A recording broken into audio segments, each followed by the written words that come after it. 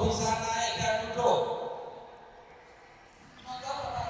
Mohon maaf karena demi kelancaran lalu lintasnya.